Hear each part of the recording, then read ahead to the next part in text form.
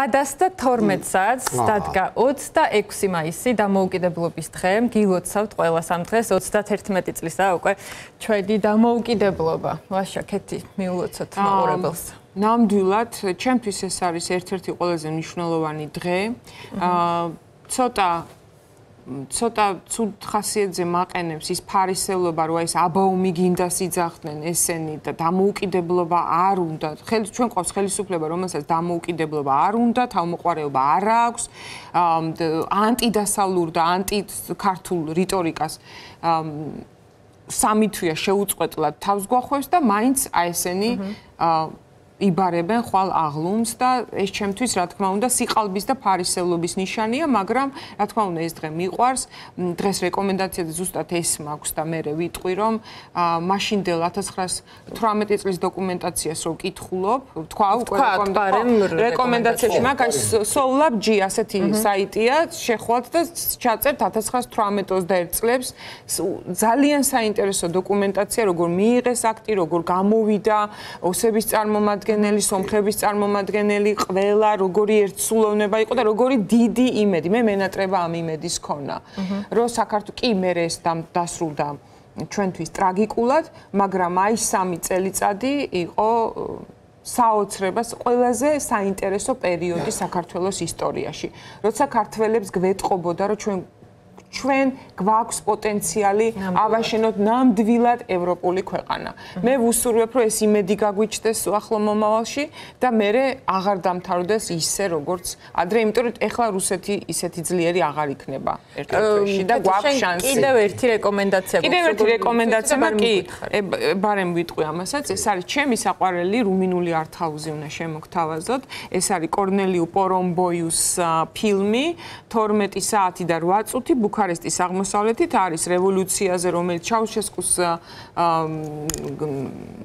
გადაგდების შემდეგ ერთ ქალაქ ვასლუიში არის რეგიონალური ტელევიზიის ეთერი, სადაც მოწვეულია იქაური პენსიონერი და პედაგოგი და ერთმანეთთან კამათობენ იმაზე რევოლუცია, ანუ მანამდე გამოვიდნენ თუ მერე აჯანყება მანამდე მოაწყოს ვიდრე ჩაუშესკოს გადაგდებდნენ თუ კონფორმისტები იყვნენ თუ რევოლუციონერები და ძალიან სასაცილო დისკუსიაში გადადის. ეს ყველაფერი იმიტომ რომ პატარა ქალაქებში ყველა მიცის ვინ ვის რას როდის რას ფიქრობდა რას ამბობდა და ესეთი კამათები ქართული საერთოდ რუმინული და ქართული ყოფა ისე გავს ერთმანეთს კომუნიზმიდან მართლმადიდებლობაში გადასული ისტორიით რომ ასეთი მშობლიური განცდა ქართულ ფილმებზე არ მაქვს როგორიც რუმინულზე და ყოველას ვურჩევ ნახოს რა ვიცი, გასართობა შეიძლება და მესამე რეკომენდაციაც მაქვს ძალიან კარგი ინტელექტუალური დიალოგი, ვისაც ენა. ეს ძალიან გაგვანებიური. კი, კი, აუცილებლად ეს კი ისე თუ ვინმე საინტერესებს უცნობის და შორინა შავერდაშვილის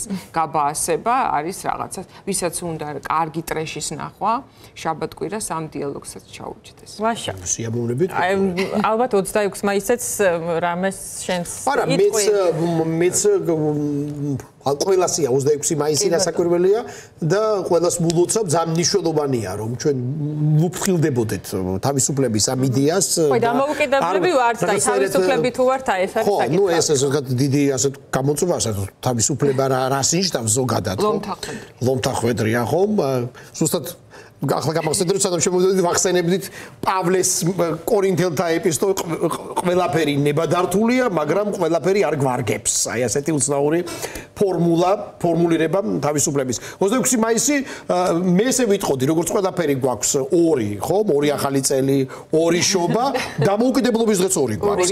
აი სინამდვილეში ჩემი თაობისათვის და ჩვენი თაობისათვის ეს არის 91 წლის 9 აპრილი. დამოუკიდებლობის აღდგენა. ეს საქართველოს რომელიც ეხლა არის ეს და დაიბადა 1999 წლის ტრაგიკულ 9 აპრილს და შემდეგ ჩვენ ვილაპარაკეთ ზევით 91 წლის 9 აპრილს როცა საქართველოს პირველ პრეზიდენტმა მაგრამ ის 3 წელი ძალიან ის ძალიან მიყვარს ის 26 მაისი ძალიან მიყვარს და თვითონ მაისის მიწურულს აქვს თავისი ობიექტური ოპტიმიზმი იმიტომ რომ კარგი ხანა არის ეს თვითონ დროის ვასაისით ხო? აი ზაფხული იწება და თავისთავად ეს რაღაც განახლების და რაღაც კულმინაციურ ეტაპზე ხო?